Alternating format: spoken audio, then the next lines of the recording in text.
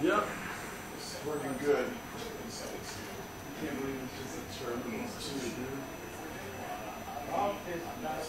Yes. Ridiculous.